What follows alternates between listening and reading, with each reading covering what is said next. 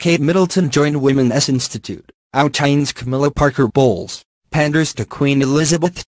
Kate Middleton is planning on joining the Anmer Women's Institute, which seems harmless enough, but there is plenty of royal drama behind it. The Duchess of Cambridge has expressed interest in the Anmer branch on the Sandringham estate, which counts Camilla Parker Bowles as a member.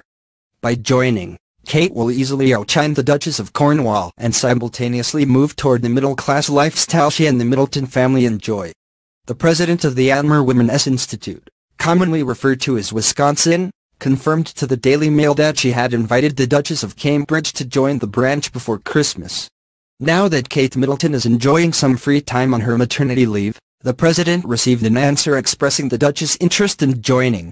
It is royal tradition to join the Wisconsin Queen Elizabeth joined the Sandringham branch in 1943 and is the current president. Queen Elizabeth typically makes one appearance a year during the holidays. Camilla Parker Bowles is also a member, but Kate Middleton enjoys a passionate following of supporters, and she would be the youngest member by nearly 10 years. It would be a feather in the cap of the Women's Institute to have the Duchess of Cambridge join their branch. The group generally engages in activities like crafts, flower arranging, and outings usually associated with a charitable cause. In addition, the members host garden parties at their homes. It is pretty clear members will be eager to go to the Duchess of Cambridge's home versus associating with Camilla Parker Bowles and her stigma as the other woman. No doubt some tense moments and anger will follow this news.